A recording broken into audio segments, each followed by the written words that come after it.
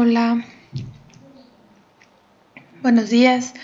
Eh, sí, este es el video, eh, digamos, en que me están solicitando, que me han estado solicitando respecto al sistema de diagnóstico de diabetes, que tiene estos casos de uso, si recuerdan, el obtener datos del paciente, el calcular las, los factores de riesgo, que incluye eh, solicitar los factores y después calcularlos Después calcular los porcentajes de los síntomas, que también tiene los dos pasos, y después eh, elegir el diagnóstico correspondiente.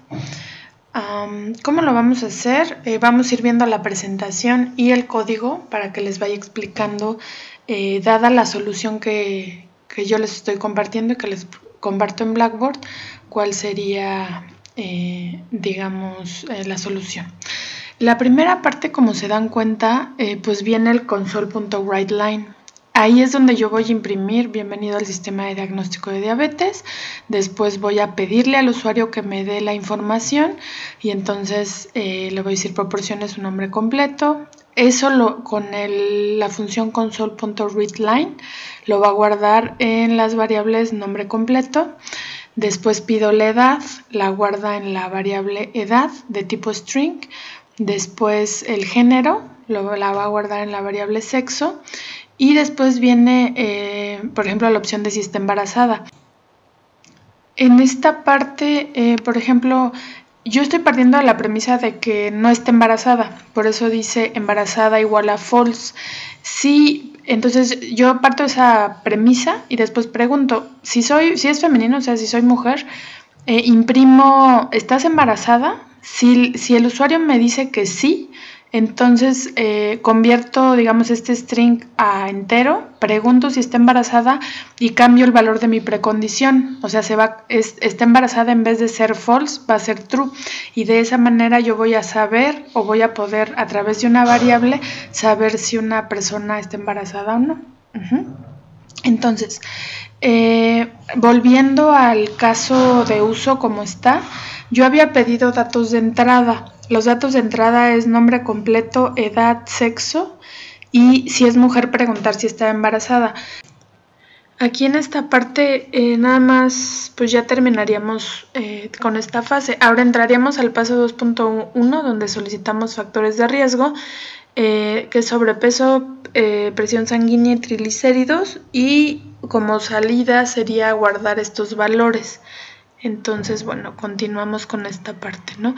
Empezamos con el paso 2.1, en donde vamos a declarar una variable que se llama tipo, tiene sobrepeso, que digamos, yo voy a asumir, o mi premisa es que es falsa, vamos a asumir que no tiene sobrepeso la persona.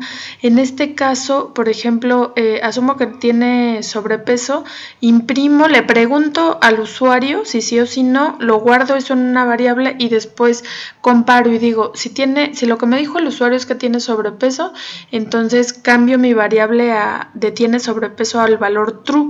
En caso de que el usuario me diera 2, este pues sería, se quedaría como false. Lo mismo aplicaría para todas las demás, para presión de sangre, triglicéridos. Eh, ¿Por qué? Porque yo, mis premisas siempre van a ser el caso, digamos, en donde está sano y en caso de que no sea así, entonces lo, lo digamos, lo paso a true, ¿no? Así, así está la lógica para que yo pueda saber si eh, una persona tiene un factor de riesgo o no en este caso. Eh, esas son las variables y esa era la salida que yo estaba esperando eh, para el programa, ¿no? Estos, estos valores que los podíamos representar eh, con un true o con un false. Ahora, para calcular el porcentaje, pues yo tengo cuatro valores, que son eso, el sobrepeso, la edad, la presión sanguínea y el tema de los triglicéridos. Acá lo que yo voy a calcular es, eh, digamos, dado, si se cumple que más del 50% de estos valores, más o igual al 50% de estos valores, eh, pues se cumplen, entonces eso quiere decir que estaría en riesgo y eh, yo voy a registrar o mi salida va a ser precisamente eh, definir esa variable que pudiera estar en riesgo. ¿Cómo lo voy a hacer? Bueno, inicialmente voy a usar una variable que se llama contador número de factores. Esa variable inicia en cero y lo que yo voy a hacer es eh, por cada factor que yo evalúe, por ejemplo, yo en el paso anterior pues evalué si tiene sobrepeso o no la persona. En este caso, si sí tiene, yo le voy a sumar un 1 a esa variable. O si tiene edad mayor a 25, le voy a sumar un 1. ¿Qué es lo que pasa? Que mientras estas variables se vayan eh, cumpliendo, pues yo voy a ver cuántos números, eh, digamos, cuántos factores, digamos, serían de riesgo. Yo sé que mi total de factores son 4, o sea, ese corresponde al 100%, pero si alguien me contestó 2, entonces eso para mí sería un 50%. Y entonces lo que yo tendría que hacer es dividir, por ejemplo, si me dicen en 2 que sí, en 2 me dicen que sí, es, eh, que sí tiene sobrepeso y es mayor a 25 años, yo estaría diciendo que esta persona esté en riesgo, o sea, que no está sano. Y eso yo lo calculo a través del porcentaje. ¿Cómo calculo el porcentaje? Eh, voy con el contador, digamos, contando esas, eh, esas veces que, que, ustedes me dan un valor o que se da un valor en donde indique que, está, que tiene un riesgo y entonces yo lo voy sumando y al final lo divido entre el número completo de, de factores, que en este caso serían cuatro y ya que tengo eso lo, multiplico por 100 de tal forma en que eh, ya que lo multipliqué por 100 eh, ya sé por ejemplo que mi, mi premisa es que está sano esa es mi premisa y en caso de que el porcentaje sea mayor a 50, entonces cambio la variable de factor de riesgo a en riesgo. Y entonces en ese momento pues ya eh, yo le estoy diciendo al usuario que está en riesgo. No, eso sería prácticamente. Eh, finalmente, este último eh, sería el de síntomas a solicitar. Pudiera ser que tiene, tenga dolor de cabeza, vista eh, borrosa, orinado frecuente y esté sobresediento. Si es así, entonces mis datos de salida que yo estaría buscando serían estos. Ese es el código que yo estoy utilizando. Genera una variable booleana que se llama tiene dolor de cabeza que mi premisa es que es falsa, o sea, yo parto del, hecho de que es falsa. Eh, si tiene dolor de cabeza, el usuario me lo va a proporcionar con el write line y yo lo voy a guardar en la variable em, eh, dolor de cabeza. Después de esto la convierto entero para que pueda compararla y si el usuario me proporciona un 1, eso quiere decir que si tiene dolor de cabeza, entonces cambio mi premisa de tiene dolor de cabeza a falsa.